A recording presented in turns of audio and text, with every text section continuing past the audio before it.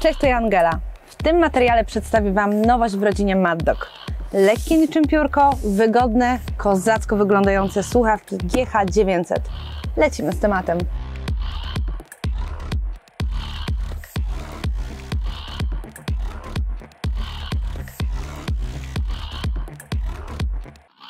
W zestawie znajdziemy nasze ultra lekkie słuchawki, odpinany kabel jack-jack, przewód o długości 1,7 metra do podłączenia USB 2.0 z wbudowanym pilotem, odpinany mikrofon, dodatkowa para nauszników, jedne wykonane z ekoskóry, a drugie z materiału oddychającego. Co więcej, dostajemy również etui, tak, etui. Więc gdy nie używasz słuchawek lub chcesz je gdzieś przetransportować, po prostu odpinasz przewód, mikrofon i wszystko chowasz do pokrowca, nie martwiąc się o bezpieczeństwo Waszych nowych słuchawek.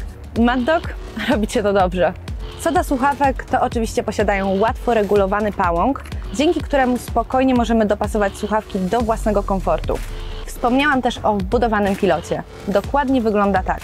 Mamy na nim podstawowe funkcje, które ułatwiają życie. Serio. Przycisk regulacji głośności, przycisk mute oraz przycisk wyciszenia dźwięku w naszych słuchawkach.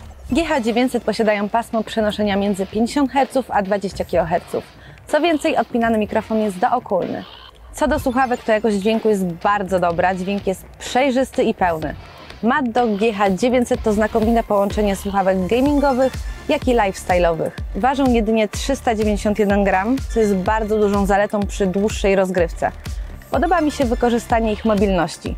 Odpinamy kabel od słuchawek, wkładamy wszystko do etui i zabieramy je ze sobą gdzie tylko chcemy.